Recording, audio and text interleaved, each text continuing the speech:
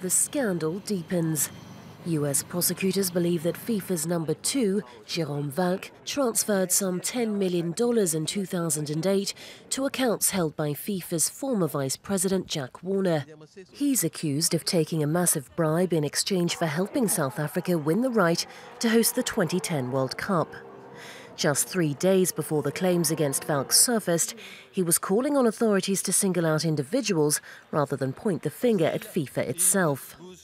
What is amazing that people are talking about investigation on FIFA. I mean, uh, the, the, investigation is more on individuals than on FIFA, the institution. The administration of FIFA is not accused of a, any wrongdoing, so I don't see why. I mean, it's always FIFA as an institution which is accused.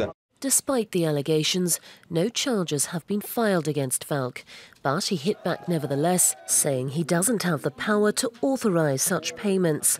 Just one part of an ongoing corruption investigation, which last week saw the indictment of 14 FIFA officials and marketing executives. But the revelations hint at the bribery trail being closer to Sepp Blatter, who's just won a fifth term as FIFA chief, than previously known.